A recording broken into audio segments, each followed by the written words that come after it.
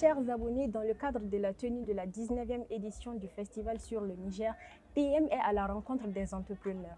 En ce sens, nous avons un entrepreneur qui est venu de la sous-région. Nous échangerons avec lui sur ses initiatives ainsi que les perspectives et ses objectifs à atteindre au bout de quelques années. Suivons ensemble son intervention. Bonjour monsieur. Bonjour. J'espère que vous allez bien. Ça va, grâce à Dieu. D'accord. Vous êtes la bienvenue sur notre émission. Merci. D'accord. Nous allons commencer avec la présentation. Vous allez vous présenter pour nos téléspectateurs. D'accord. Je m'appelle Ba Issaba, je suis le coordinateur général de Canary Magique à Dakar. Un organisme qui est dans la production de contenu éducatif et numérique Mhm. pour les enfants et personnel, éducatif, le personnel pédagogique. D'accord. Quel est l'objectif que vous voulez réellement atteindre à travers cette initiative? Déjà, nous sommes aujourd'hui dans une ère où le contenu numérique est très important. Mhm. Aujourd'hui, on regarde beaucoup les films dans nos téléphones portables, nos tablettes, ainsi de suite. Même nos enfants sont très friands de ce genre de contenu. Il s'avère qu'il n'y a pas de contenu sur la culture africaine dans nos téléphones portables, dans nos smartphones, dans nos tablettes. Donc c'est notre combat pour voir la culture africaine à travers la création de contenu qui sera capable de, de capter l'attention des enfants autrement. Oui. D'accord. Donc, votre participation à cet événement, plus précisément au festival, qu'est-ce que ça représente pour vous? Déjà pour nous c'est une, opportunité parce qu'il y a un projet qu'on a proposé, c'est ce- c'est cette bande dessinée, Mhm. c'est du Startup for Haley.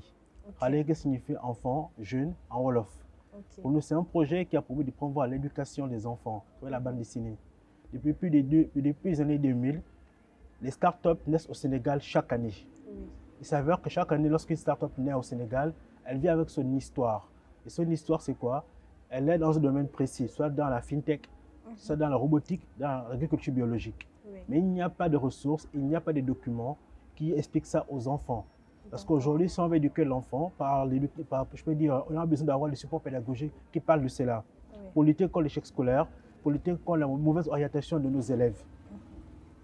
D'où ce projet Startup for Halei, dont le but est d'éduquer les enfants autrement grâce à la bande dessinée. Ce qu'on veut, c'est faire l'histoire des startups sénégalaises en bande dessinée. Comment voulez-vous innover votre initiative d'ici les prochaines années? Déjà, là, on a fait la version papier de ce projet. Oui. Dans d'ici deux à trois ans, on compte créer une plateforme qui Mhm. permettra à ce que les enfants partout dans le monde puissent avoir accès à cette bande dessinée-là, à travers un abonnement, à travers types de téléchargement. D'accord. Quelles sont les structures qui vous ont aidé dans la mise en place de cette initiative? Bon, dans ce projet, on a eu comme partenaire, je peux le dire, euh, l'ambassade de France au Sénégal qui nous a soutenus. Oui. Je peux le faire ça si c'est possible. Mhm. Que quelques partenaires qui nous ont soutenus. Et ces partenaires, on a l'ambassade de France au Sénégal qui nous a Mhm. soutenus.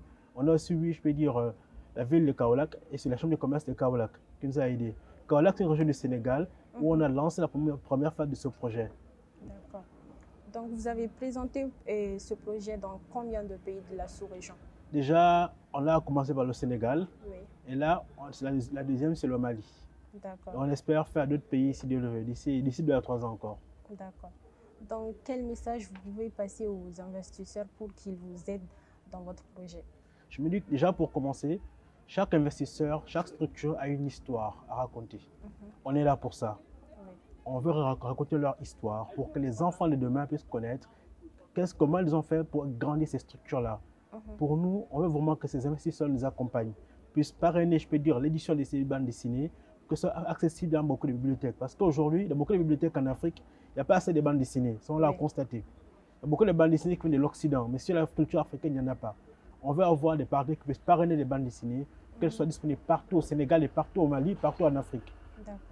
Les bandes dessinées, ils sont disponibles où? Ils sont disponibles ici au Mali? Déjà, pour l'instant au Mali, non, mais elles sont disponibles au Sénégal. Mais on va essayer de voir, peut-être d'ici la fin d'année, comment on envoie des exemplaires Mhm. à certaines bibliothèques ici au Mali. D'accord. Donc, quel message vous pouvez adresser aux entrepreneurs? Déjà, c'est un, parcours du combattant. Il faut beaucoup croire en ses rêves, beaucoup persévérer.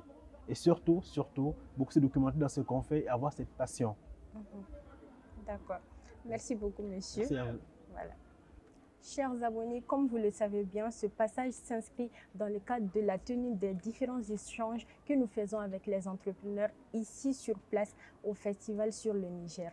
Donc, en ce sens, si vous êtes investisseur ou que vous voulez accéder aux différentes euh, actions mises en place par cet entrepreneur, cet entrepreneur n'hésitez surtout pas à le contacter. Ces, ces informations seront disponibles en bas de page. Merci à vous.